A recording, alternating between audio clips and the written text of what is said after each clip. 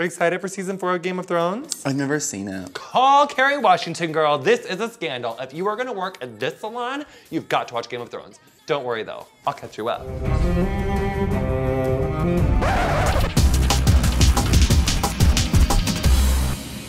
So, baby Kristen Stewart's family is dead, girl, except for her Miss Cleo acting brother and her dumb bitch sister. Baby Kristen Stewart is totally out for revenge, and I totally hope she gets it because she's out to shank all those bitches that wronged her. And then, honey, ooh, there is Jon Snow, and she's making a bitch sweat. It looks like Power Bottom King Joffrey is about to have to sashay away. But then his uncle daddy is all like, bitch, this war is not over. And who's rising up in King's Landing? It's none other than Mr. Sofia Vergara. Tell your father I'm here.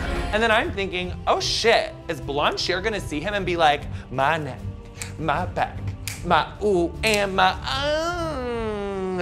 And anyone in King's Landing who wants to get fucking better get a fucking because Christina Aguilera is on the way, she's on the loose, and she is coming for you, girl. And it's about to get Season 4, Game of Thrones, is gonna be more sickening than conscious uncoupling. Oh, God, Gwyneth is going through it right now.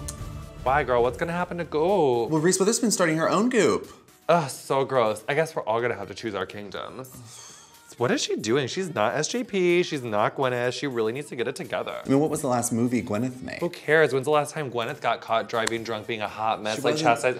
Whatever, back of the car, sucking D in the back of the car. She's a whore, I She hate her. She's sucking hideous. D, she She was was sucking her husband's D in the back of the car. He was driving the car. Roadhead. Reese is like redneck trash, like scum got lucky. I mean, first of all, no, she's not. She's Yes, she is. a talented actress. She has an Academy Award. For what? For, for, for Walk the Line as Oh, June she Carter was cute in that. I did like her in that. She sang her own songs. Badly, but I did like her in it. Okay, but then we have Gwyneth singing her own songs, putting out a whole Have you seen. Sliding Doors? Have you seen Country Strong?